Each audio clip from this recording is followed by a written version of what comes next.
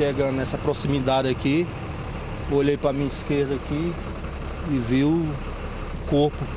Fiquei em dúvida se era um boneco ou se era uma criança. O trabalhador parou o veículo e foi até o outro lado da pista. O que Valdécio tinha visto era o pequeno Benjamin, de seis anos. Onde exatamente ele estava, o Valdécio? Aqui é porque desmanchou o entulho, né? Para tirar o. Tinha um entulho aqui. Tinha. Que é que, portanto, que o Benjamin falou que era a montanha. Ah, né? Ele estava deitado nesse local aqui. Aqui? Aqui, nesse local.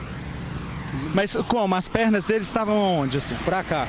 Pra cá, sim. Pra cá. Ele deitado, de, de, dessa forma assim, com os olhos fechados. Ele de bermudinha jeans, camisetinha, o óculos aqui no, na gola da camisa. Aí foi onde eu peguei nele e ele estava muito frio, né? Os pés meio roxo e as mãos muito geladas, branca, branca, branca. Aí eu fiz oi, aí ele foi, na hora que ele abriu os olhos e sentou e cruzou as pernas e, e as mãos e os braços. E qual foi a primeira coisa que ele te falou?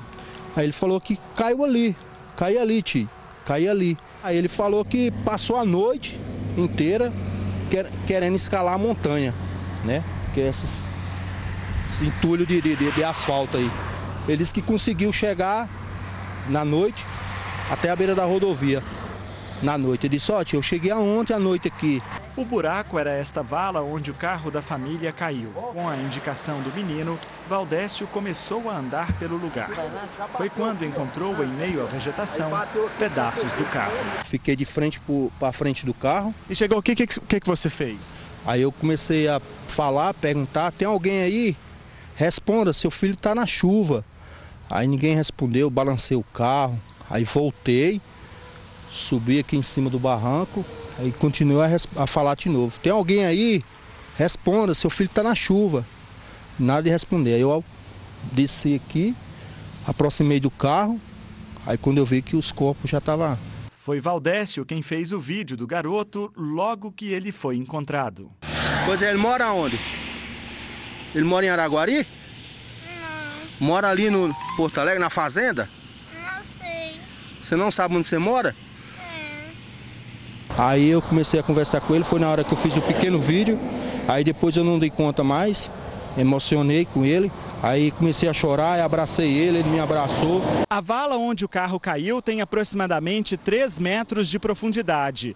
O pequeno Benjamin teve que escalar todo este paredão de barro até conseguir chegar aqui no alto e pedir socorro. Ele estava descalço, sentia frio e perguntava pelo irmão. Ele só perguntou pelo irmão dele.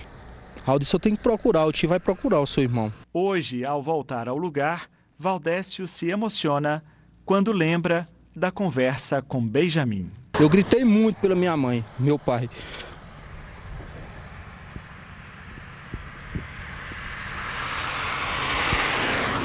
Mas minha mãe e meu pai não escutavam.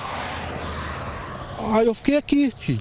Fiquei aqui, choveu e eu não consegui sair daqui. Só eu chamava meu pai e minha mãe. E, e ele não escutava. É de emocionar, né? Cortar o coração.